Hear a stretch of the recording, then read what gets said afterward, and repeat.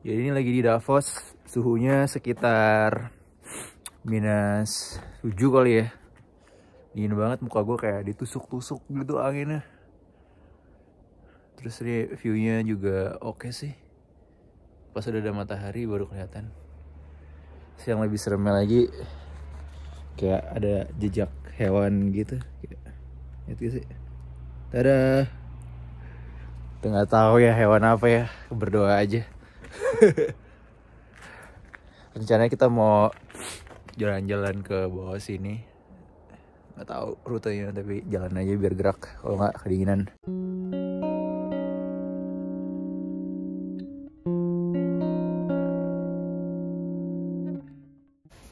Coba Cliff outfit Outfit menghadapi minus lo kayak gimana? Apa aja? Hari ini, pagi ini jam 8 pagi Outfit gua cuma sepatu Vans, kaos kaki tebal Hmm. celana, Gua celana lapis 2 Yang dalam training Yang luar celana winter Itu training kenapa Ba- baru masuk di training? Iya, bukan gitu maksudnya bro Oh bukan. Bukan gitu konsepnya Kalau ini Kang Yujing apa nih persiapan? Saya lapis 6 pak. Lapis 6 Iya. Kelihatan sih ini lapis 6 Jadi gembung. Gemukan Wah ini sepatu udah siap medan tempuh siap dah nih. Udah siap terjun di salju Siap. Ini kita lihat medan yang kita mau lalui. Kita rencananya ke gunung yang sana tuh Yang jauh itu sana. Nah, Kayaknya nggak mungkin sih Tapi paling sini lah dekat. Salah kostum guys. Ini pakai Air Jordan buat kayak gini. Tidak seharusnya ditiru sebenarnya.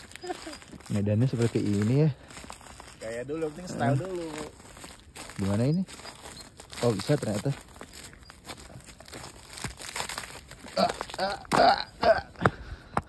Kita rencananya sebenarnya udah udah riset kemarin mau ke gunung yang sana.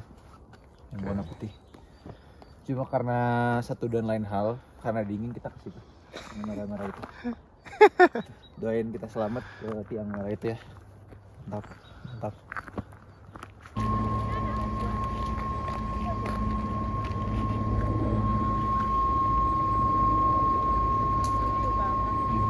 Anak-anak SD baru datang.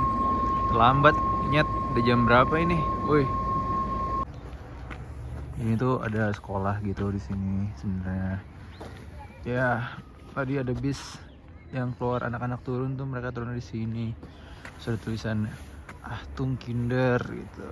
Artinya pelan-pelan banyak anak kecil jing gitu.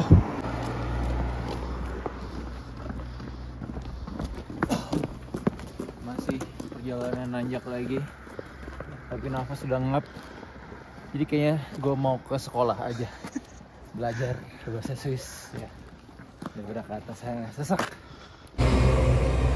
akhirnya nggak kuat lagi naik ke atas jadi duduk-duduk aja di pinggir jalan yang sebenarnya kalau menurut orang Swiss ini sebenarnya biasa aja ya karena kita dari, dari Indonesia ya jadi norak. Ya duduk-duduk aja gini ngeliatin itu lah Toblerone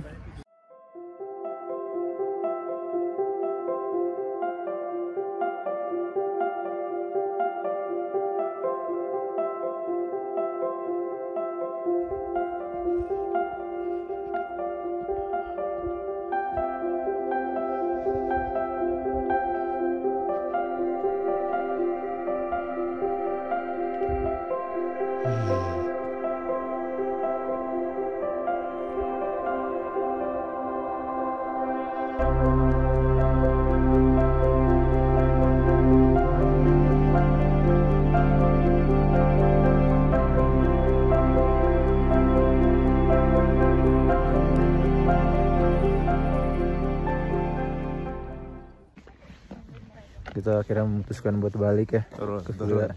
karena apa Turun. karena tangan sudah mulai sakit Kaki. eh, hidung Kalau gua kaki udah mati rasa kaki terus eh, ini mata udah mulai agak-agak perih-perih daripada jari kelingking kita patah karena beku Turun. kita balik aja meskipun mataharinya udah keluar sebenarnya bagus banget sih Tipis, tapi, tapi tipis. suhunya yang diperkirakan akan berkurang menjadi lebih hangat ternyata malah jadi min 8 dari min 7 ya naik terus nggak naik kondusif kayak buat badan-badan Asia kayak kita.